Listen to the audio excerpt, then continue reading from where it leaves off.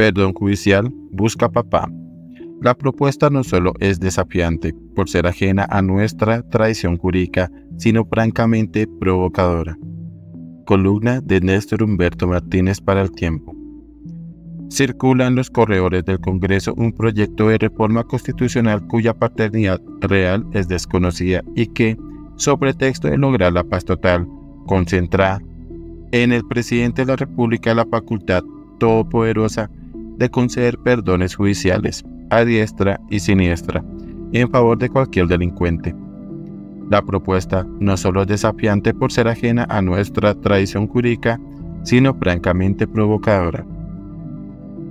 Dice la iniciativa que el jefe de Estado podrá otorgar perdón judicial cuando ella contribuya a los fines de la política de paz total, un concepto tan etéreo como subjetivo, que deja el capricho del soberano la concesión del beneficio, exponiéndolo a que se convierta en blanco de la opacidad del lobby y el chantaje de las distintas formas de criminalidad. Otros avesados críticos no duran en afirmar que se trata de una golosina para la oposición, amenazada con su judicialización, para ofrecerle una posibilidad de solución a sus problemas a cambio de su sometimiento político.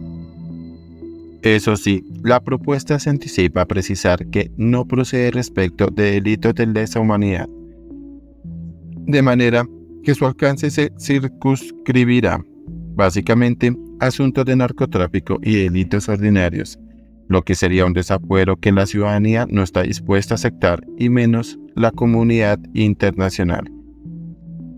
Uno de los aspectos más controversiales de la iniciativa, más allá de su juicio de constitucionalidad, es aquel que consiste en la posibilidad de que el gobierno dé por terminadas investigaciones penales en curso, mediante la orden de archivo de estas, privando a la justicia y a la sociedad de que se esclarezca todo tipo de ofensas a los bienes jurídicos que protege el derecho penal, la vida, las libertades individuales, el patrimonio económico, la integridad de la administración y la fe pública, entre otros.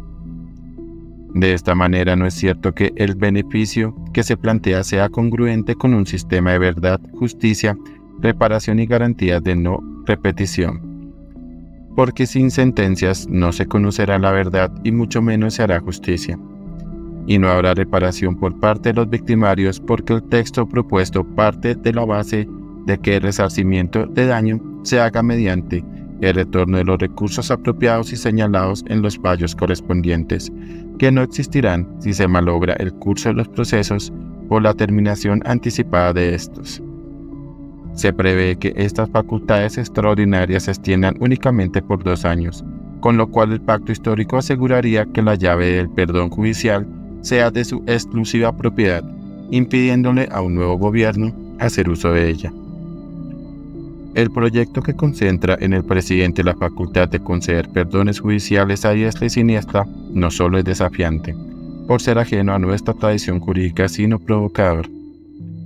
La confusión acerca del propósito de esta expósita iniciativa se hace mayor cuando se pasa a la lectura de su exposición de motivos.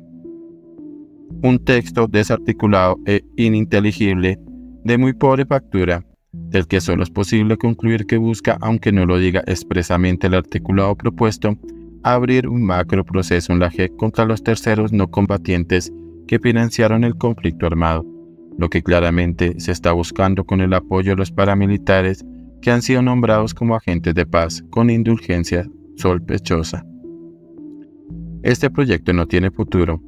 El Congreso ha sido renuente a este tipo de beneficios por su carácter omnímodo alcance incierto y porque afectan la integridad de la justicia, lo que genera indiscutible resistencia en el Poder Judicial. Recuerdo que en tiempos del Caguán, en la reforma política de la época se coló una iniciativa similar, denominada Gracia.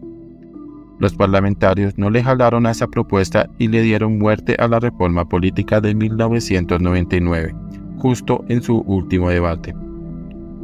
La maternidad de este proyecto se les adjudica a organizaciones de la sociedad civil que carecen de alguna representatividad.